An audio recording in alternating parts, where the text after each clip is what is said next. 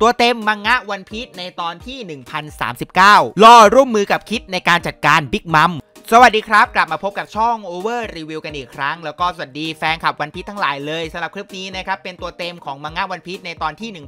1039 ซึ่งแน่นอนนะครับ อย่างที่ผมพูดไป พอตัวเต็มมาแล้วเนี่ย มันแทบจะร้อยเปอร์เซ็นต์และเรื่องความถูกต้องนะครับ ไม่ว่าจะเป็นนะครับภาพต่างๆนะครับหรือบทสนทนา ซึ่งหากใครนะครับที่ชอบรับชมแบบตัวเต็มแบบนี้นะครับเนื้อหานะครับหรืออะไรที่มันจัดเต็มจัดหนักเลยนะครับไม่ว่าจะเป็นคำพูดตัวละครนะครับหรือว่าเหตุการณ์ต่างๆนะครับก็สามารถรับชมคลิปนี้ได้เลย และหากใครนะครับที่ยังไม่ได้กด subscribe และกดกระดิ่งนะครับอย่าลืมกดด้วยล่ะหากกดแล้วไปรับชมความสนุกความมันของคลิปนี้กันเลยดีกว่า โดยเนื้อหาเริ่มต้นของมังงะวันพีชในตอนที่ 1039นะครับเราจะเห็นเนี่ยเป็นภาพมุมกว้างนะครับบนท้องฟ้าเลยนะครับโดยเราจะเห็นนะครับเกาะโอนิอาชิมะนะครับแล้วก็ประเทศวาโนเนี่ยตรงนครหลวงบุปผานะครับอยู่เบื้องล่างนะครับก็คือในเฟรมเดียวกันก็จะเห็นทั้งหมดเลย โดยในตอนนี้เราจะเห็นนะครับเป็นโมโมะในร่างมังกรพยายามใช้เมฆเพลิงนะครับในการดึงตัวเกาะโอนิงาชิมะนะครับให้ห่างไกลจากตัวนครหลวงบุปผาให้มากที่สุดเท่าที่จะมากได้ โดยโมโมะได้พูดนะครับเพื่อปลุกกำลังใจของตนเอง ไม่ได้การแล้วฉันต้องดึงมันกลับไป ดึงกลับไปให้มันมากกว่านี้จะให้เกาะนี้ร่วงหล่นสู่นครหลวงบุปผาไม่ได้เด็ดขาด แต่ระหว่างนั้นเองนะครับดูเหมือนว่าโมโมะจะได้ยินเสียงบางสิ่งบางอย่างนะครับกำลังเรียกเขาอยู่ว่าแต่ว่าใครกันเนี่ยกำลังเรียกหาฉัน เหตุการณ์ถูกตัดไปนะครับณหน้าลานการแสดงสดในตอนนี้นะครับก็เกิดเรื่องกลหนมากมายเลยนะครับโดยจะเป็นเหตุการณ์ต่อเนื่องมา หลังจากที่คิดกับรอทั้งสองคนร่วมมือกันนะครับทำให้พิกมัมนั้นลงไปนอนกองกับพื้นได้ ก็เล่นเอานะครับเหล่าบรรดาลูกน้องไคโดที่อยู่บริเวณนั้นถึงกับตกใจเลยนะครับที่เห็นบิ๊กมัมนั้นสิ้นท่าแบบนี้จนเจ้าพวกนั้นจัดการกระเด็นไปขนาดนั้น อย่าบอกนะว่าเจ้าพวกนั้นเนี่ยสามารถจัดการบิ๊กมัมได้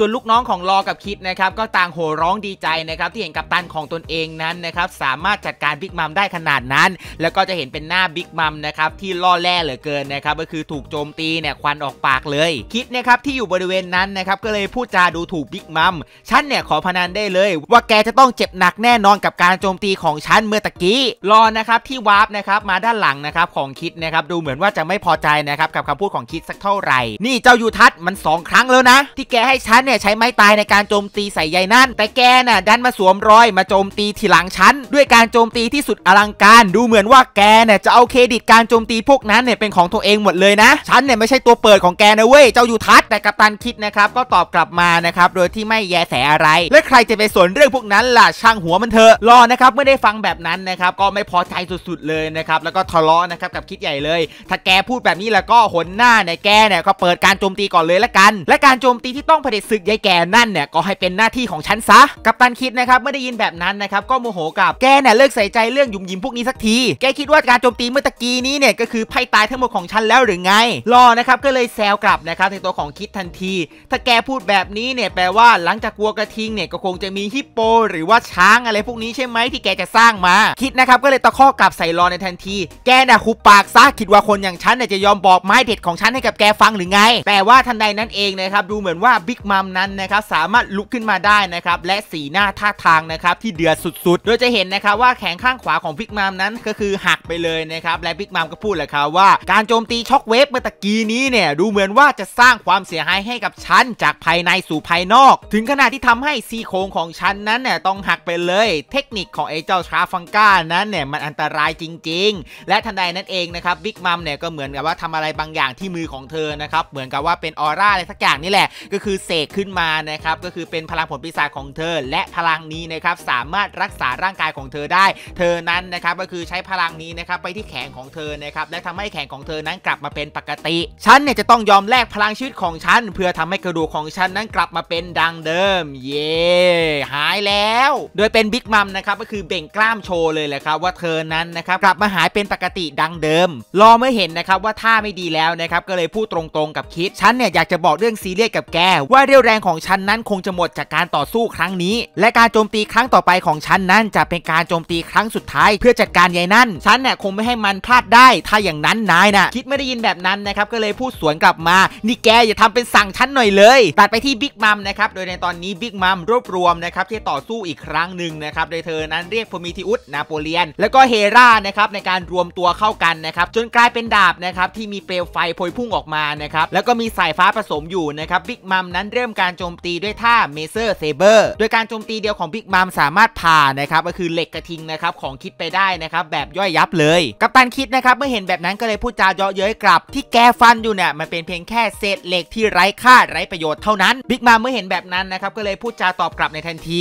นี่พวกแกเนี่ยเลิกความฝันบ้าๆเลยพวกนั้นได้แล้วล่ะรู้หรือเปล่าว่าฉันเนี่ยส่งโจรสลัดอย่างพวกแกนับร้อยลงสู่เบื้องท้องทะเล มาแล้วนักต่อนักพวกฉันเนี่ยเป็นโจรสลัดที่ยิ่งใหญ่ที่ปกครองท้องทะเลนี้มาหลายช่วงทศวรรษตั้งแต่ที่พวกแกนั้นยังเด็กยังดูดนมแม่กันอยู่เลย แต่ปรากฏว่านะครับคิดนั้นก็ไม่ได้สนใจนะครับโจมตีเข้าใส่บิ๊กมัมด้วยท่าแอสไซนะครับด้วยทำอักษรนะครับเป็นรูปตัว S นะครับที่บริเวณหน้าผากของบิ๊กมัมและรูปตัว N นะครับที่บริเวณซากหอคอยนะครับซึ่งไอ้นี้เนี่ยก็แน่นอนนะครับ S ย่อมาจาก South ที่แปลว่าทิศใต้นะครับ N ย่อมาจาก North นะครับที่แปลว่าทิศเหนือ และทันใดนั้นเองเมื่อเกิดเป็นขั้วแม่เหล็กนะครับร่างของบิ๊กมัมนั้นนะครับก็ไปติดนะครับอยู่ที่บริเวณซากปลักหักพังนะครับที่เป็นหอคอยนะครับที่ทางด้านของคิดนั้นนะครับได้ทำการสร้างสัญลักษณ์เอาไว้คิดนะครับก็ซ้ำในตัวของบิ๊กมัมต่อนะครับโดยการใช้กระทิงเหล็กนี่แหละในการโจมตีเข้าใส่บิ๊กมัมนะครับที่ตัวติดกับหอคอยแต่บิ๊กมัมนั้นนะครับก็คือมีเรี่ยวแรงเยอะสามารถนะครับพลิกหอคอยนั้นได้นะครับแล้วเอาหอคอยนี่แหละในการบล็อกนะครับการโจมตีของกระทิงเหล็กไว้ได้นะครับจึงทำให้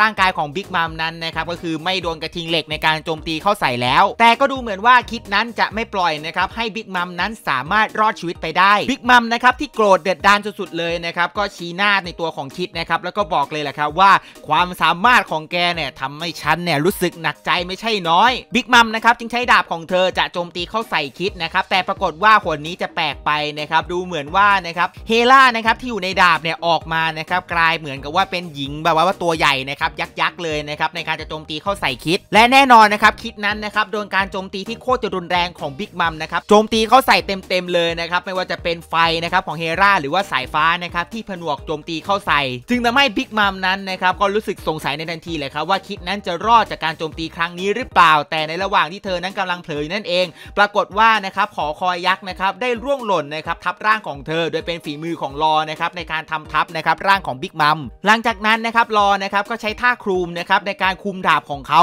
และใช้ดาบของเขานะครับปักไปนะครับที่บริเวณตัวนะครับของบิ๊กมัมเล่นเอาบิ๊กมัมร้องเสียงลงเลยนะครับที่พาดท้ายกับลอ และดาบนั้นนะครับก็คือสามารถทะลุลงพื้นไปได้เลยนะครับก็คือทะลุลงพื้นเนี่ยทะลุตัวเกาะโอนิงาชิมะลงสู่เบื้องล่างเลยนะครับ โดยตัวดาบนั้นสามารถทะลุไปโดนนะครับตัวเกาะวาโนะได้เลย บิ๊กมัมนะครับเห็นว่าเธอนั้นกำลังพลาดท่าสุดๆเลยนะครับ เธอจึงใช้หมัดเคลือบฮาคินะครับในการต่อยรอให้รอนั้นนะครับก็คือปลดดาบของตัวเองนะครับจากร่างกายของเธอซะ แต่รอนั้นสู้ตายนะครับถึงแม้ว่าจะถูกต่อยด้วยความรุนแรงนะครับแล้วก็เจ็บปวดปางตาย แต่ลอว์นั้นนะครับก็ไม่ยอมปล่อยดาบของเขา จึงทำให้ลูกเรือของลอว์ทั้งหมดเลยนะครับพยายามบอกให้ลอว์นั้นหยุดสักทีนะครับเพราะไม่อย่างนั้นกัปตันต้องตายนะ แต่ว่าลอว์นะครับก็ไม่ยอมเขานั้นนะครับก็ยังโจมตีเข้าใส่ และลอว์นะครับก็เลยโจมตีเข้าใส่แรงอีกครั้งหนึ่งนะครับโดยใช้ท่า shock wave นะครับโจมตีเข้าใส่ในตัวของบิ๊กมัมเล่นเอาบิ๊กมัมนั้นนะครับก็คือปากอ้ากว้างนะครับแล้วก็กระอักเลือดสุดๆ เลย จากการที่ถูกโจมตีที่รุนแรงของลอว์ ซึ่งแน่นอนนะครับผลกระทบจากการโจมตีครั้งนี้นะครับทำให้ตัวเกาะโอนิงาชิมะนั้นสั่นสะเทือนไปหมดเลย แล้วก็เกิดหลุมมหึมานะครับอยู่บริเวณตัวเกาะ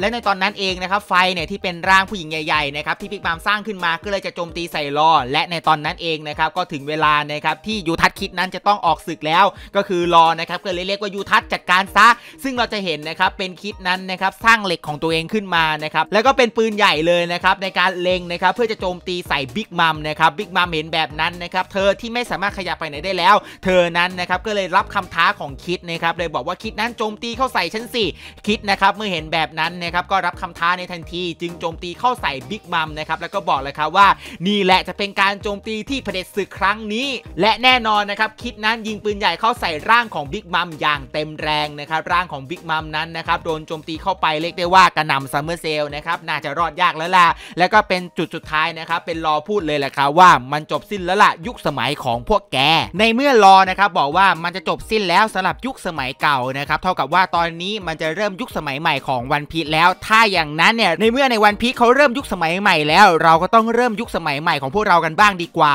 ยุคสมัยแห่งการใช้แว่นเมื่อคุณนั้นอยู่หน้าจอมือถือ หรือว่านะครับกำลังดูหนังอยู่นะครับบนคอมพิวเตอร์ของคุณ ซึ่งอันนี้ขอพูดตรงๆเลยนะ จากประสบการณ์ส่วนตัว ซึ่งมันเป็นผลกระทบของผมเนี่ยจนมาถึงทุกวันนี้นะครับกับ mindset ที่ว่าใส่แว่นเนี่ยมันโคตรจะลำบากเลยไม่เท่นะครับและดูแบบเป็นโนบิตะเหลือเกินนะครับแบบดูไม่เท่ในสายตาเพื่อนๆหรือเปล่าแต่นะครับมันทำให้เป็นผลกระทบกับผมจนถึงทุกวันนี้ ต้องย้อนกลับไปก่อนละกันตอนสมัยที่ผมเนี่ยอยู่ประถมนะครับเรียกได้ว่าสายตาผมเนี่ยดีมากๆ ชัดเจนมากๆเลย ไม่เคยมีปัญหาเลยนะครับจะนั่งหลังห้องหน้าห้องยังไงมองเห็นชัดทุกตัว แต่นะครับพอมามัธยมเนี่ยรู้สึกได้ชัดเลยแหละว่าเอ้ยเรานั่งหลังห้องเราไม่ค่อยเห็นแล้วนะ เวลาอาจารย์เขียนหน้ากระดานนะครับจนในท้ายที่สุดโรงเรียนเนี่ยเขามีแบบว่ามาวัดค่าสายตา และผมก็มารู้ตัวแหละครับเฮ้ยผมเนี่ยสายตาสั้นนะอยู่ที่ 70 แต่ผมก็โนสนโนแคร์ไม่ได้สนใจอะไรมากนะครับเพราะว่ามันก็ไม่ได้สั้นเยอะอะไรใช่ไหมแล้วก็ไมเซ็ตในตอนนั้นคิดว่าคนใส่แว่นเนี่ยโอ้โหมันดูแบบไม่เท่เลยนะครับแล้วก็ลำบากมากๆคือต้องย้อนกลับไป เมื่อสมัยสัก 15 ปีที่แล้วนะครับใส่แว่นมันเป็นเรื่องใหญ่นะ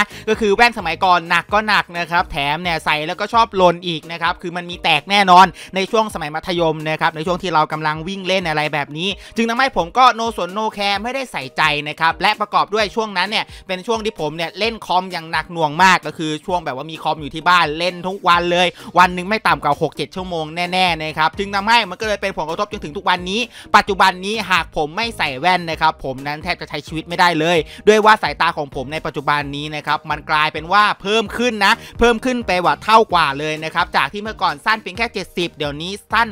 170 อีกทั้งนะครับยังมีเอียงอีกนะครับและมันเป็นผลกระทบไง จากการที่ผมนั้นมีไมเซ็ตผิดๆนะครับก็คือสมัยก่อนเนี่ยไม่ยอมจะใส่แว่น แต่ปัจจุบันนี้เทคโนโลยีนั้นก็คือล้ำไปไกลแล้วนะครับเรียกได้ว่าเข้าสู่ยุคสมัยใหม่แล้ว อย่างแว่น Optus Zero นะครับเป็นแว่นที่ถือว่าค่อนข้างจะครบครัน และเหมาะมากๆเลยนะครับสำหรับใครที่แบบเอ้ยผมรู้สึกลำคาญกับการใส่แว่นรู้สึกว่าแว่นมันหนักเหลือเกิน แต่มันไม่มีปัญหาเลยนะครับสำหรับแว่น Optus รุ่น Zero นะครับซึ่งแว่น Optus ตัวนี้นะครับขาแว่นบางที่สุดในโลกผลิตได้เฉพาะที่ Optus เท่านั้นถ้าเปรียบเทียบความบางนะครับเรียกได้ว่าบางเทียบเท่ากับกระดาษ 3 แผ่นเท่านั้น และสิ่งที่แบบโคตรจะดีสุด ๆ เลยนะครับสำหรับสายที่แบบว่ามีแว่นแล้วแว่นนั้นโอ้โหไม่ทนเลยนะครับเพราะว่าแว่น Optus นั้นวัสดุเนี่ยทำมาจาก Nova Ultem ซึ่งเป็นวัสดุยอดฮิตของ Optus ความพิเศษอยู่ตรงที่บิดได้งอได้ ทับก็ไม่หักตกก็ไม่แตกเรียกได้ว่าถึกอึดทนนะครับยิ่งกว่าร่างกายของโซโลเสียอีก และจุดเด่นๆเลยนะครับ ซึ่งไอเนี้ยเป็นปัญหาของผมนะครับตอนสมัยมัธยมที่ไม่อยากจะใส่แว่นคือเมื่อก่อนมันจะหนักใช่ไหมแต่แว่น Optus นั้นเบาบางมากๆเลยนะครับมีน้ำหนักเพียงแค่ 8 กรัมเท่านั้นย้ำนะครับ 8 กรัมเท่านั้น ถือว่าโคตรจะเบาเลย เท่านั้นยังไม่พอยังมีฟังก์ชันกรอบแว่นที่โคตรจะสำคัญอีกนะครับอย่างเช่นขาแว่นนั้นฝังซิลิโคนเอาไว้ ออกแบบโดยเฉพาะสำหรับหูฟังนะครับใส่แล้วไม่มีเจ็บหูแน่นอน หรือจะเป็นการพัฒนาจนถึงขีดสุดนะครับทำให้รุ่นนี้เป็นแว่นที่สามารถเล่นเกมได้ใครที่เป็นสายเล่นเกม นั่งจดจ่ออยู่หน้าจอนานนะครับผมบอกเลยว่าอันนี้เหมาะสมมากๆสาเหตุที่ทำให้ผมนั้นสายตาเสีย ก็มาจากการเล่นเกมเป็นเวลานานแบบนี้นี่แหละ หรือแม้กระทั่งนะครับสามารถบิดงอได้มากกว่าเดิมนะครับกว่า 320 องศาเรียกได้ว่าทับไม่หักตกไม่มีแตกรับประกันได้เลย และความพิเศษนะครับของแว่น Ophtus รุ่น Zero ก็คือ มีการฝังแถบซิลิโคนไว้ที่ขาแว่นนะครับเพื่อเพิ่มการยึดเกาะดีไซน์เนี่ยมันเฉพาะรุ่นนี้โดยเฉพาะผิวเลนส์นั้นเนื้อแข็งแรงเป็นพิเศษไม่แตกนะครับแม้จะโดนของหนักทับนะครับหรือผิวเลนส์ก็ป้องกันรอยขีดข่วนได้ดี ผิวเลนส์นั้นลื่นเป็นพิเศษนะครับฝุ่นและไอ้น้ำไม่เกาะผิวเลนส์นะครับเรียกได้ว่ากินมาม่าก็ไม่มีติดแน่นอน หรือแม้นะครับการโดนมึกปากกานะครับก็สามารถเช็ดออกได้อย่างง่ายดายซึ่งผมก็เชื่อนะครับทุกคนนั้นก็คงเคยได้ยินแหละครับว่าแว่นออฟตัสดีอย่างนู้นดีอย่างนี้นะครับไอเนี้ยผมเป็นการรีวิวโดยประสบการณ์ตรงของผม และผมนะครับได้แว่นนี้มา ผมใส่เองจริง ๆ ด้วยนะครับเหมาะสมแน่นอนนะครับสำหรับเกมเมอร์สายเล่นเกม หรือใครนะครับที่ดูการ์ตูนนานๆนะครับใช้เวลาดูการ์ตูนแบบโอ้โหทั้งวันทั้งคืน ผมบอกเลยแหละครับว่าป้องกันดีกว่านะครับจะคิดว่าเอ้ยเรายังเด็กอยู่ไม่เป็นไรหรอก ยังไงเด็กมันดีกว่าผู้ใหญ่อยู่แล้ว อย่าลืมนะครับพอแก่ตัวขึ้นมาอย่างผมเนี่ยมันจะเป็นปัญหาจนถึงทุกวันนี้ ซึ่งผมขอแนะนำเลยนะครับถ้าไม่อยากมีปัญหากับการใช้แว่นนะครับอยากแบบว่าเฮ้ยฉันอยากมีแว่นสักอันนึงแล้วก็แบบว่าจบไปเลยอย่างเงี้ยแว่นออฟตัสนะครับถือว่าตอบโจทย์คุณแน่นอน สามารถสั่งซื้อแว่นได้นะครับที่ Facebook Fanpage นะครับของออฟตัสนะครับแล้วก็ใส่โค้ดที่ผมจะให้ไปนะครับด้วยเพียงใส่โค้ดนะครับคำว่า over review นะครับก็ได้รับส่วนลดเลย 100 บาท เดี๋ยวผมจะแปะคำส่วนลดไว้ให้นะครับใต้คลิปนี้เลยนะครับคุณจะได้รับส่วนลดแน่นอน 100 บาทนะครับแล้วก็เป็นการสนับสนุนผมด้วยละกันเนาะก็คือไม่มีอะไรมากนะครับอยากจะได้แว่นดีๆ ไปเลือกออฟตัสได้เลยนะครับอันนี้ผมกล้าฟันธงแล้วก็การันตีได้เลยแหละครับว่ายังไงเนี่ยมันดีแน่นอน เพราะว่าผมนั้นนะครับปีหนึ่งเปลี่ยนแว่นบ่อยมากเลยนะเพราะปกติแล้วมันมักจะมีปัญหากับการใช้งานนะครับแต่ว่าแว่นออฟตัสนั้นผมรับประกันได้เลยว่าตอบโจทย์แน่นอน